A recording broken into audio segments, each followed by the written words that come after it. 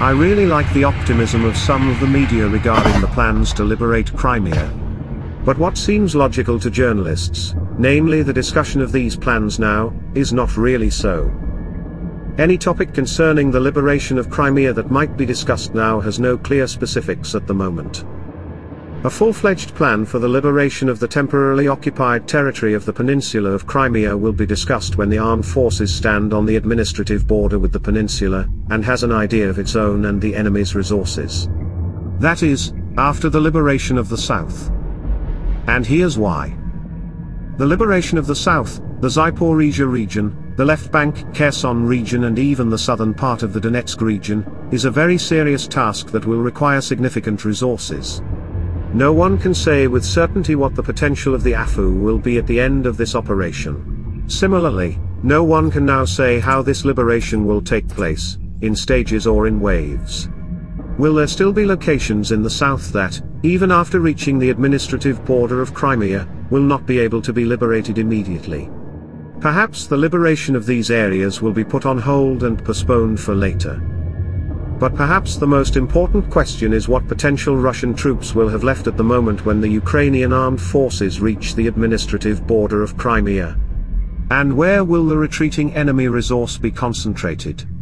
Whether it is distributed in the rush of flight between the Crimea and the eastern regions, or mostly concentrated on the peninsula. In fact, at the time of the release of the AFU to the Crimea, there may be so many variables affecting the situation tactically and even strategically that planning as of today, just loses its meaning. When it comes to the liberation of Crimea, the guarantees of support from international partners are of primary importance. The partners recognize the full right to return this territory to Ukraine, which could not be otherwise. And the importance of this fact says also that the process of return will be provided by the technical component in full measure. And therefore, for the Crimea it is too early to talk, but at least three bridgeheads can be considered with a very interesting perspective and on each of them it is possible to implement certain scenarios for the liberation. You should agree that there is enough to do. The Ukrainian winter could be fatal for the Russian army, with such an interesting headline, was published in the Wall Street Journal. For both armies, winter weather affects everything from maneuverability to battery charge. But the cold and damp can have a crushing effect on soldiers' morale and fighting ability, while creating potential health problems.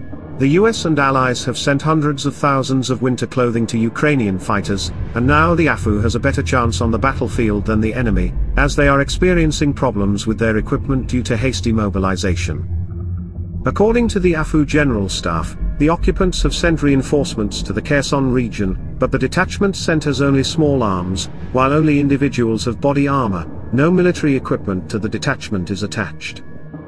It seems that the occupiers are not taking the threat of a Ukrainian winter seriously, and are instead relying on their own delusions of grandeur. But as history has shown, Mother Nature does not discriminate, and even the mighty Russian army is not immune to her wrath. So let's wait and see who will be laughing when the AFU is storming the beaches of Crimea, while the occupiers are shivering in their ill-equipped boots.